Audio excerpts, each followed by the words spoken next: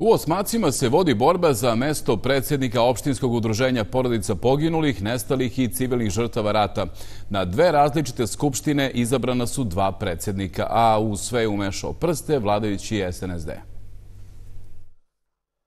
jedno udruženje, dva predsjednika. Takva je trenutna situacija u opštinskom udruženju porodica poginulih, nestalih i civilnih žrtava rata u Osmacima. Krajem prošle godine održana je skupština udruženja na koju je izabran novi predsjednik Dragiša Bojković. Ljubo Dukić za predsjednika je izabran na drugoj sjednici na kojoj su, kaže Dukić, bile prisutne porodice poginulih. Dukić tvrdi da je Bojković nelegalno izabran kako bi SNSD-ov kadar preuzeo udruženje. E, po statutu nije mogao zato što je politički ovaj nastrojen. E, čak na toj skupštini koji je Dragiša Bojković i Nevenka Bunjevac održali. E, bili su, bio je član iz Boračke, bio je ratni vojni invalid i tako bilo je nekih ljudi koji po statutu nisu mogli da ovaj prisustuju uh, našoj organizaciji, da kažem, jer mi nismo nadležni uh, za ratne vojne invalide, mi smo samo za porodice poginulih, poginulih u, u ratu, civilne žrtve rata i e, nestale u ratu.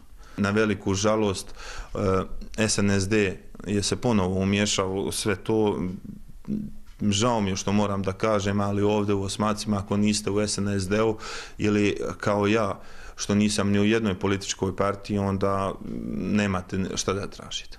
Opštinsko udruženje porodica poginulih, nestalih i civilnih žrtava rata u Osmacima postoji 11 godina i kako Ljubo Dukić tvrdi, nikada nisu dobili pomoć od opštine. Zatražili su prije šest mjeseci da im se iz budžeta odobre sredstva i krenulo je, kaže, otimanje udruženja. Mi je se pojavila neka novčana sredstva posle 11 godina koji su kao navodno obećali ovaj odma opština je se umješala da da pokuša na prevaru da ovaj taj novac uzme za sebe. Pa pošto smo pružili jak otpor onda su nastali drugi problemi taj izvjesni eh, Dragiša Bojković onda je politički uticao na to Ljubo Dukić kaže da Bojković obavlja već nekoliko funkcija, između ostalog on je i šef kabineta načelnika opštine Osmaci. Dragiša Bojković kaže da je njegov izbor bio legalan. Na tu sjednicu Skupštine sam pozvan koji svi ostali učesnici te Skupštine. Dobio sam poziv, pošto mi je uručen taj poziv. Dobio sam, čini mi se da je održana 3. decembra ta sjednica. Ni na koji način niti sam mogu uticati, niti sam imao razloga da učem. Jednostavno nisam znao da ću biti izabran na toj sjednici. A od njih 13, od 8 njih sam predložen za, za predsjednika te organizacije, a od 12 podržan i izabran. Preko 360 je porodica poginulih na području Osmaka. Za njihova prava se neko treba boriti, ali dok se situacija ne riješi, sve stoji, pa i podrška lokalne vlasti.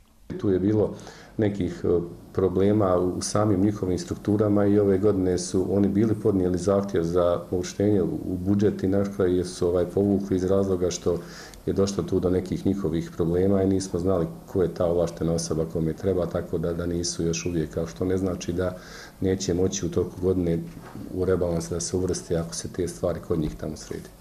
Kako dogovora nema, slučaj je završio na sudu u Bijeljini koji će dati konačnu riječ ko će sjesti na mjesto predsjednika opštinskog udruženja porodica poginulih u Osmacima. Dok sud ne presudi, Ljubo Dukić kaže da neće predati pečat Bojkoviću i sebe smatra legalno izabranim predsjednikom udruženja.